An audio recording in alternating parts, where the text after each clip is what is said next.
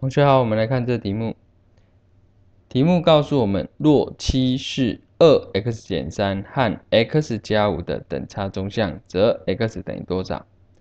好，我们呢有等差中项的公式，知道